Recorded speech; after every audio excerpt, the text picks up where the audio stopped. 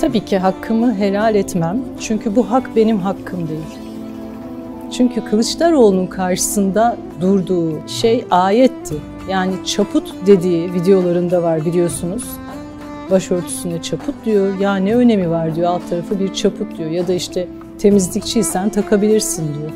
Burada hafife aldığı, aşağıladığı, küçümsediği şey Allah'ın ayeti. Dolayısıyla benim hakkımı helal edip etmemem gibi bir şey söz konusu olamaz ki.